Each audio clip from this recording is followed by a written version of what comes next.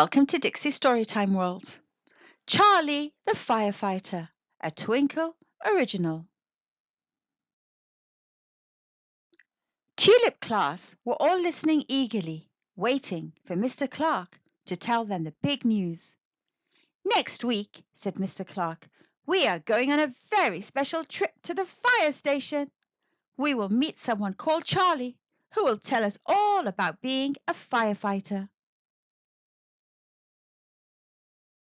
All week the children were buzzing with excitement. I can't wait to meet Charlie, said Dylan. I bet he's so cool. I think he'll be really strong, said Medina. I'm going to tell him that I want to be a firefighter too, said Teo. Finally, Monday arrived, and it was time to go to the fire station and meet Charlie. Tulip class lined up with their partners and made their way to the bus. Billy and Amari sat together, talking about what they thought might happen at the fire station. I hope Charlie lets me ride in the fire engine, said Billy. I really hope he shows us how to use the hose, said Amari. When they arrived, Mr. Clark led the children off the bus and into the fire station. This is Charlie, said Mr. Clark. Charlie stood in front of them and waved. Look at his awesome uniform, said David. Charlie pulled off her helmet. Hi, Tulip class, she said. It's so good to meet you. I'm Charlie, and I'm a firefighter. Does anyone know what a firefighter does? You put out fires, said Grace. You help people in emergencies, said Aisha. You rescue kittens from trees, said Kai. Charlie smiled. Firefighters are part of the emergency services and we help keep people safe. If there is a fire, you can call us and we will come to rescue people and put the fire out. Sometimes we rescue animals too. Is it hard? asked Annie. Charlie thought for a moment. Being a firefighter can be hard, said Charlie. Fires are dangerous, so I have to be very brave. I also have to keep fit to make sure I am strong enough to do the job.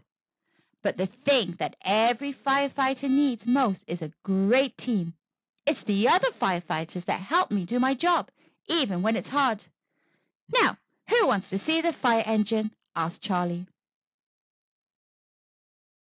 They headed out behind the fire station to find a big, bright red fire engine. Wow, said Billy, it's amazing.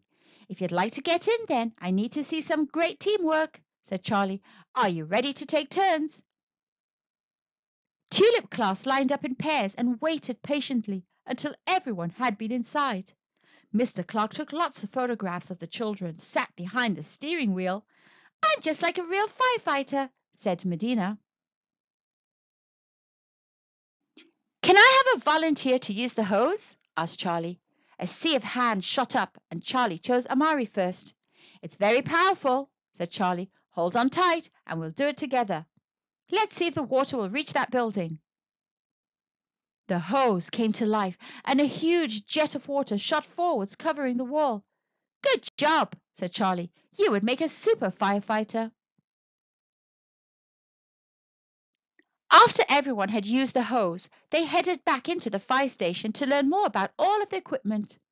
Charlie's amazing, said Dylan. She's even cooler than I imagined. I hope I can be as good a firefighter as Charlie when I'm older, said Teo. She's incredible, said Medina. I'm going to be a brave, strong firefighter when I grow up too. I'll be in your team, said Annie. As the class got ready to leave, Aisha walked over to join Charlie. Charlie, should I be a firefighter when I grow up? she asked. You should be whatever you want to be, said Charlie.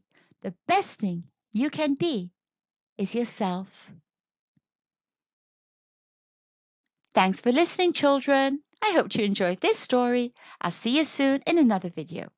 Always remember to be good and kind. Thanks for watching and listening. Enjoy more stories at Dixy's Storytime World on YouTube. We're also available on the Kids YouTube app.